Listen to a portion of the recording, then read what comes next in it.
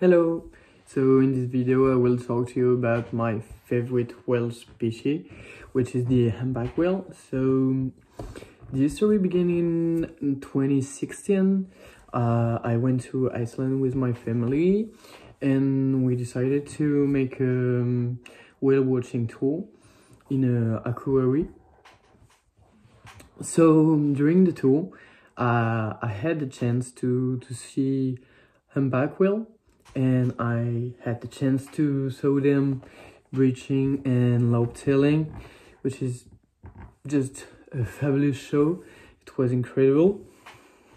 So it was at this time my my first encounter with whale and if even if now I had the chance to show other whale as minke whale or fin whale uh, the whale left me an incredible memories.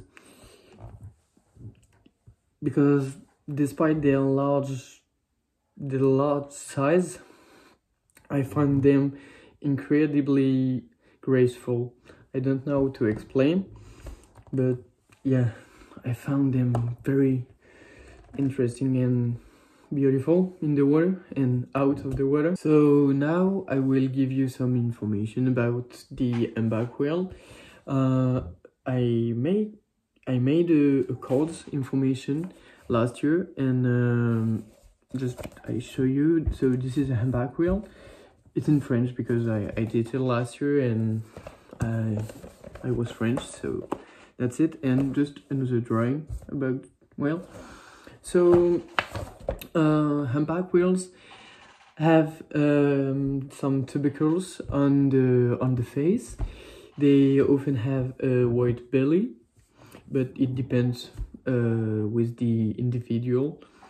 Uh, they have a very long uh, pectoral fin, and uh, they they got a, a hump uh, on the back, and that's why they call humpback whale. So they can reach 14 to 17 meters length. Uh, they migrate a lot. They go from the pole uh, where they feed them to the um, tropics uh, to give birth to to their young.